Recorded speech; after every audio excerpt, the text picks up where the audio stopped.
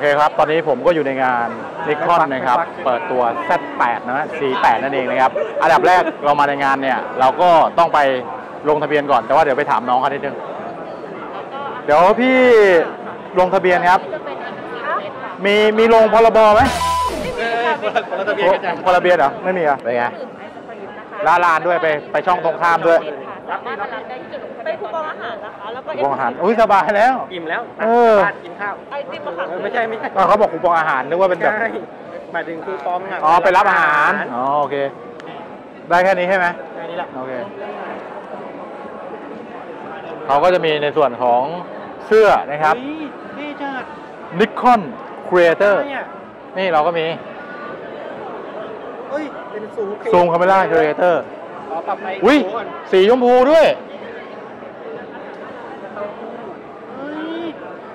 มันช่างเข้ากันซะเหลือเกินโทษนะครับเสื้อชมพูนี่ทำไงอะอ๋อซื้อได้ไหมเล่นเกมไม่ไม่เกมไม่น่าได้อะไม่น่าจะเก่งขนาดนั้น พวกเราไม่น่าจะเก่งขนาดเล่นเกมแล้วได้ เราเราเน้นเติมเงินดีกว่าขนาดเติมเกมยังเติมเงินเลยซื้อ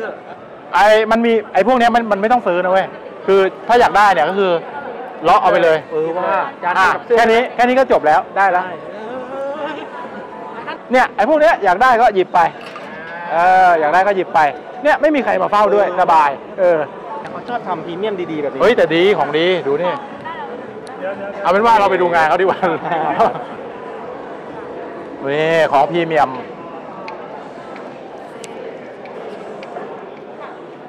มันกดออนมาแล้วสวัสดีครับคุณเข็มปีสวัสดีครับ สวัสดีครับ วันนี้คุณเอาอะไรมาบ้างเนี่ยอ่าครับก็ สิ่งที่เราเอามา ไม่ใช่ไม่ได้เปิดจะไม่อยากดูเสื้อจะดูหัวนมเดี๋ยวไม่ใช่งานกล้องแล้วก็พวกอุปกรณ์ขาดไม่ได้ก็คือ SCM เราก็สนับสนุนอุปกรณ์ที่เกี่ยวกับการถ่ายภาพนิ่งและวิดีโอครับอ่าวันนี้หลักๆในเวิร์กช็อปของทาง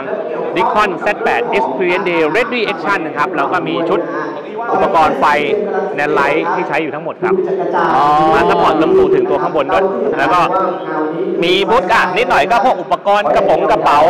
SmallRig ครับ พวกตระกูล V เมาส์ต่างๆอัตมอสโฮลี่แลนที่เป็นพวกส่งสัญญาณ Wi-Fi อะไรพวกเนี้ยครับอ่าเรื่องอุปกรณ์ไมค์ Saramonic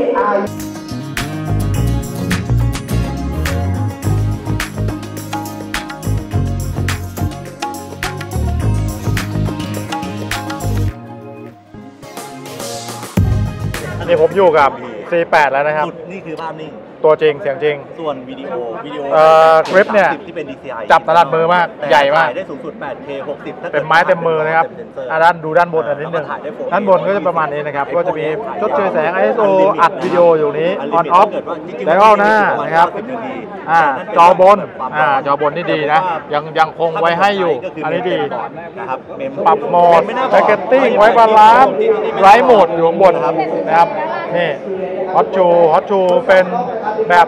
ไม่ไม่ไม่ได้ MI นะอ่าไม่ได้เป็นมัลติอินเทอร์เฟสนะ ก็คือเป็นฮอตชูแบบธรรมดานะครับแต่อ่าแต่ผมไม่แน่ใจผมไม่เคยตัวเห็นไอคัพนะครับ จะเป็นแบบวงกลมแบบนี้ L15C นะนะครับ PL15C FN ต่างๆลบภาพนะฮะพอแบตมันดูเล็กมันวิดีโอภาพนิ่งนะครับมันเป็นกล้องโปรแยกกันนะแล้วเอาหลังข้างหลังนี่มีจอยสติ๊กนะเอ่อประมาณเมนี้นูเมนูโอเค อะไรพวกเนี้ยจะตามแบบของนิคอนแหละนะครับเอ่อผมอะมีนี่อยู่ไฮไลท์ของเขาคือจอนะครับอ่าจอนี่จอเป็นแบบ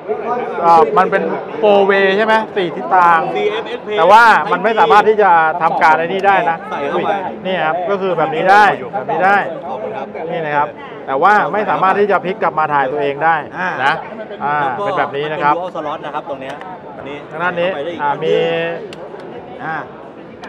ช่องซิงค์แฟตเป็น dual- ใช่ไหม dual slot อ่าช่องซิงค์แฟตเก้ามันจะเป็นแล้วก็ CFS ทั้งคู่ตัวนี้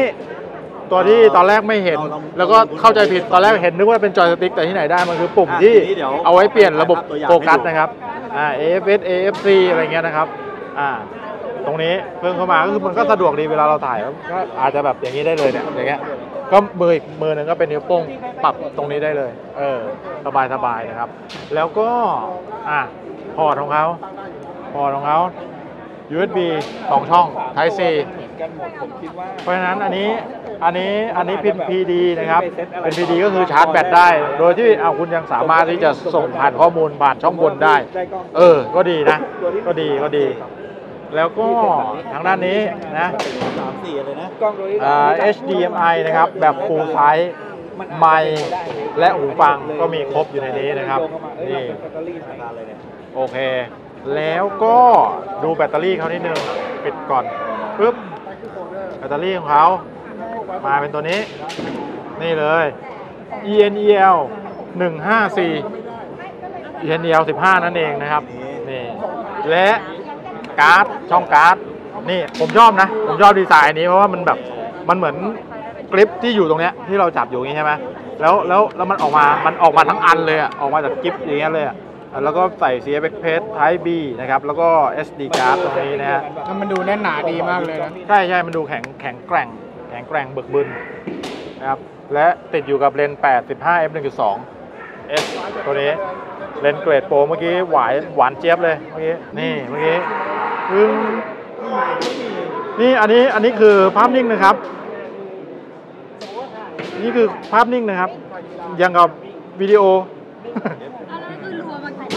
ตอนนี้มันเป็นไดโหมดใช่ไหมครับ เดี๋ยวผมขอลองดูก่อน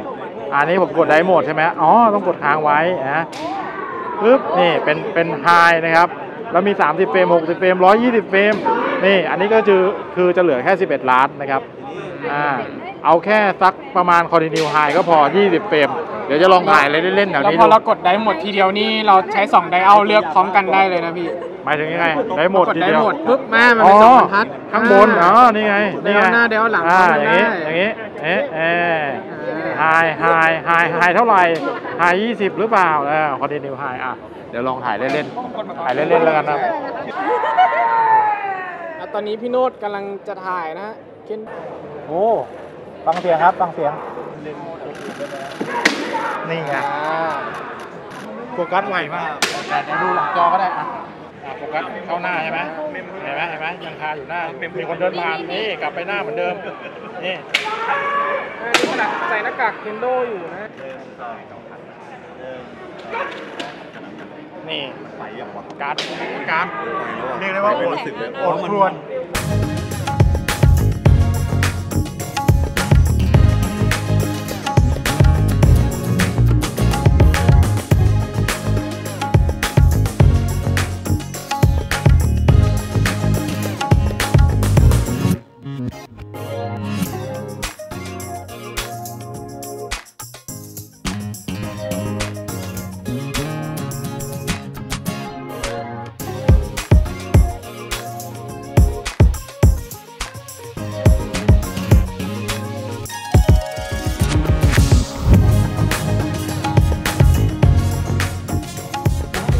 เดี๋ยวรอรีวิวเต็มแล้วกัน มาแน่ตอนนี้นะครับผมอยู่กับคุณกุ๊กทิวนะครับแหมค่ะชื่อในวงการคือกุ๊กทิวด้วยค่ะแนะนำตัวนิดนึงครับ ผมเชื่อว่าหลายๆ คนรู้จักแหละ แต่ว่าอีกสักรอบหนึ่งกุ๊กทิวค่ะ ครับ ผมพูดไปแล้วครับ ค่ะ ก็ชื่อกุ๊กไก่ค่ะออมเมสาวทิวไผ่งามค่ะ ก็ชื่อในวงการก็จะชื่อกุ๊กทิวอะค่ะ เป็นช่างภาพที่เกี่ยวกับสายสปอร์ตโดยเฉพาะบาสเกตบอลค่ะ นี่เขาถ่ายบาสเกตบอลระดับ ฟีบ้านี่ค่ะฟีบ้าใช่ถูเลกยต้องโอ้จำได้ด้วยเย้ใช่ครับ เพราะว่าผมเป็นพีบ้า นั่นแหละอ่าก็คือได้ได้ได้ได้ถ่ายส่วนใหญ่จะเป็นบาสเกตบอลหมดเลยใช่ไหมจะครัเป็บนบาสเกตบอลแล้วก็จะเป็นอีเวนต์ต่างๆอะค่ะแบบเอาว่ากันตามตรงอะงานงานบวชงานงานบวชอ่าก็คือช่างภาพนสินค้ freelance ใช่อะไรอย่างงี้หมด้วยแล้วก็อันนั้นแต่ว่านอกนอกจากที่มันแบบไม่ใช่ฤดูการแข่งขันครับก็ถ้าว่างเราจะเราก็ถ่ายให้ได้ใช่ครับก็ การถ่ายบาสเกตบอลเนี่ยคือเอ่อหล่อเลี้ยงจิตวิญญาณนะครับ แต่ว่าการถ่ายงานบวชคือหล่อเลี้ยง ร่างกายหล่อเลี้ยงปากท้องล้อเล่นล้อเล่นล้อเล่นหยอกหยอกหยอกอะก็ประมาณนี้นะครับ ก็ปกติใช้กล้องอะไรอยู่ก่อนหน้าเนี้ย ก็กุ๊กก็ใช้2 System เลย DSLR อ่า D5 ครับ D5 70 200 แล้วก็จะเป็นเอ่อ C7 ตัวแรกเลย C7 ครักับกับพวกเลนส์ต่างๆครับยี่ยี่เอ่อยี่สี่เจ็ดสิบ ต่างๆครับพวกพวกเลนส์ไทซีของนิคอนอ๋อแล้วแต่ว่าล่าสุดก็ได้เอาตัว C8 ใช่ค่ะไปใช้ใช่ใช่ใช่เป็นไงบ้างครับ ดีค่ะ ดีมากสั้นไปทั้งโอเคเอาใหม่อ่าดีค่ะล้ก็อเล่นคือต้องบอกว่าอย่างตอนตอนแรกอะกุ๊กถ้าอะเทียบกันซิสเต็มกันระหว่าง C7 กับ C8 ครับมันมันห่างกันหลายหลายรุ่นหลายหลายหลายใช่หลายหลายมันคุ้มมันเลยไม่ใช่อะ7แล้ว 8 แล้ว 9 เป็นอย่างนั้นที่เขาออกมาอ่าเขาออกมาเป็น C7 C7 2ครับ C6 C6 อ่า2แล้วมีตัวล่างๆออกมาอีกกว่าที่จะถึง C8 ได้เรียกว่า 3-4 ปีเลยครับกว่าถึงครับจะมาใช่ถึงตัวใช่ล่าสุดรอกันนานมากใช่ใช่แล้วไหนจะโควิดเนอะเราก็อยู่กันแต่บ้าน แล้วพอออกตัวนี้มาเนี่ยบึ้มเลยอ่าถือว่าเป็นเป็นเป็นการเปิดตัวที่ยิ่งใหญ่ของนิคอนค่ะประทับใจอะไรใน Z8 ก็อย่างที่ที่บอกสุดก็อย่างที่บอกเลยอย่างของกุ๊กอะกุ๊กก็ถ่ายกีฬากุ๊กไซซิสเต็มก็คือตัว r e l a y C7 ครับแล้วก็เป็น D5 ซึ่งครับเมื่อก่อนย้อนกลับไป D5 นี่โอ้โหเปิดตัวมายิ่งใหญ่มากอ่าตอนนั้นใช่ใช่อ่ายิ่งใหญ่จัดกันเซ็นทรัลเวิลด์จำได้ครับใช่ค่ะ แล้วเสร็จแล้วตอนเนี้ยมัน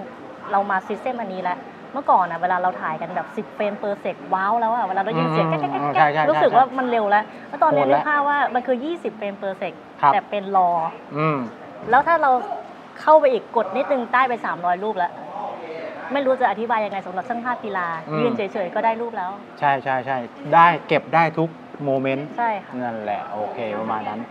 อยากอยากอยากอยากชวนไปถ่ายด้วยกันอะได้ไหมอะได้ได้ติดติดติดต่อมาได้เลยค่ะ ขึ้นไอจีไว้ให้แล้ว ติดต่ออ๋อไดเรกมาได้ อ๋อโอเค เราอยู่กับตัวจริงนะครับเดี๋ยวเดี๋ยวเราจะไดเรกไอจีคุยกับเขาไม่ใช่ล้อเล่น เออ ประมาณนี้ขอบคุณมากขอบคุณมากที่มาให้เกียรติมานั่งคุยด้วยนะครับ ค่ะโอเคยินดีค่ะ ครับผมขอบคุณคุณกุ๊กครับ ขอบคุณค่ะ ครับ